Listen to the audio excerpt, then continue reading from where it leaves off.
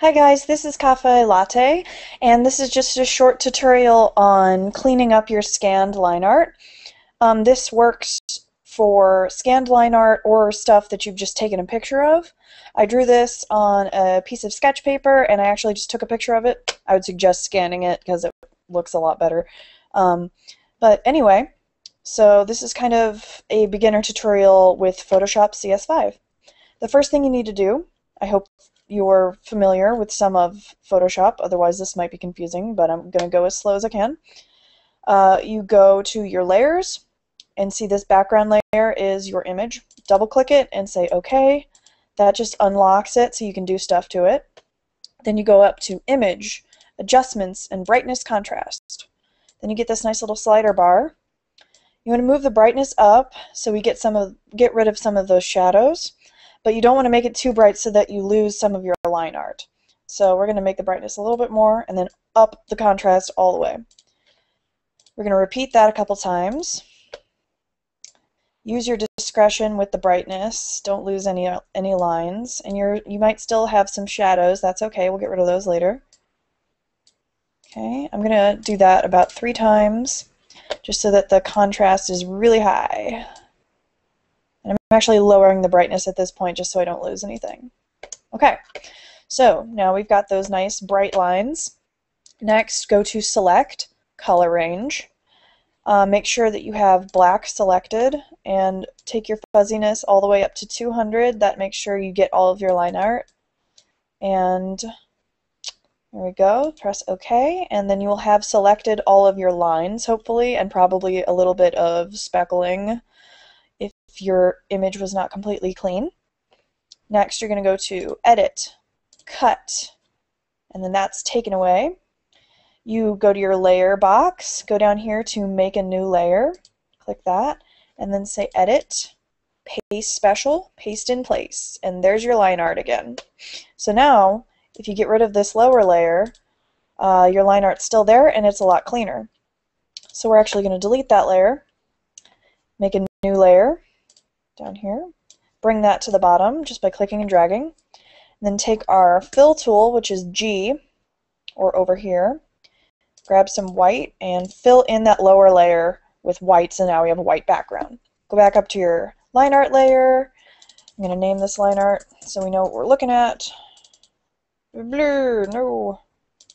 Blur, white. Alright.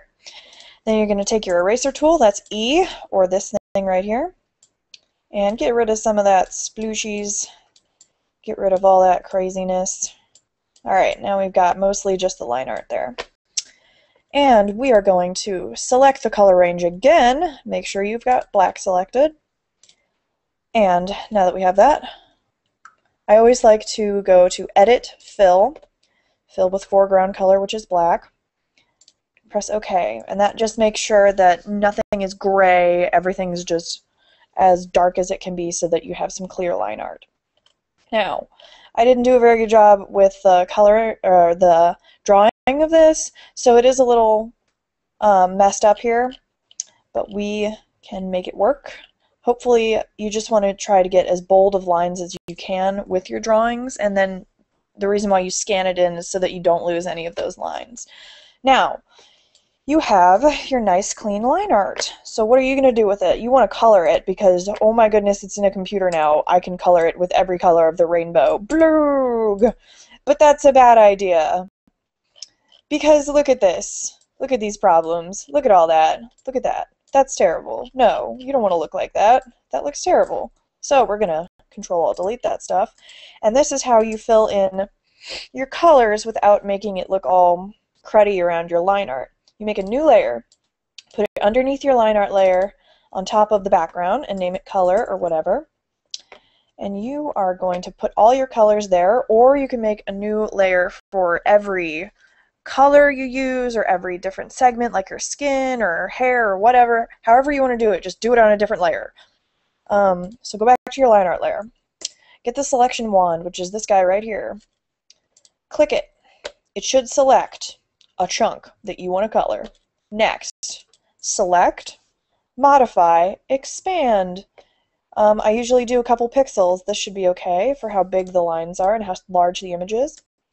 Now if you'll see what I did, these marching ants, this selection is bigger than the line art. So when I fill it in, boop, not on the wrong layer, when I fill it in on the color layer, deselect, it's going to be underneath the lines. So there's not going to be any white space in between your color and your lines. And that is pretty much how you can color everything. And it's all going to look fabulous. Here's one more tip to help you uh, work with this color so that you don't go, oh no, I messed up everything.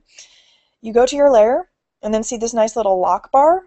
You click this one, which has the checkerboard, which is lock all transparent pixels, which means I can take a different color. Check this out. oh my goodness, it stays within what I colored. That's like my favorite thing in Photoshop right now.